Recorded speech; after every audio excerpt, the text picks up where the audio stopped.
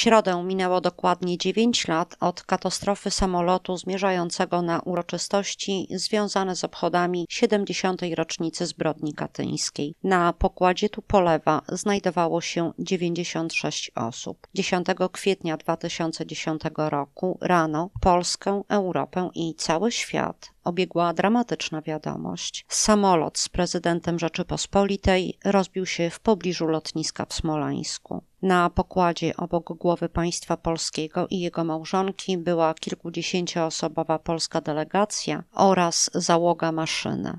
Katastrofy nikt nie przeżył. Polska wstrząśnięta trwała w żałobie, obserwując 96 pogrzebów. Wciąż nieukończone śledztwo rosyjskich prokuratorów, komisja Millera, tzw. Tak raport Anodiny nie wyjaśniły Polakom w sposób niebudzący wątpliwości przyczyn katastrofy, w której zginęły elity państwa polskiego. W niedzielę o godzinie 16 w konkatedrze pod wezwaniem świętego Aleksandra odbędzie się msza święta w intencji ofiar oraz w intencji ojczyzny. Po nabożeństwie jego uczestnicy przejdą pod dąbek wolności. W Parku Konstytucji 3 maja odczytany zostanie apel poległych. Zabrzmi salwa honorowa i złożone zostaną kwiaty. Po tej uroczystości w Suwalskiej Szkole Muzycznej odbędzie się koncert pamięci. Organizatorzy niedzielnych uroczystości Społeczny Komitet Organizacji Regionalnych Obchodów Świąt Patriotyczno-Rocznicowych, któremu przewodzi poseł, wiceminister spraw wewnętrznych i administracji Jarosław Ziliński, zapraszają do udziału w obchodach rocznicowych. Władze miejskie hołd ofiarom katastrofy smoleńskiej oraz ofiarom zbrodni katyńskiej oddały w środę 10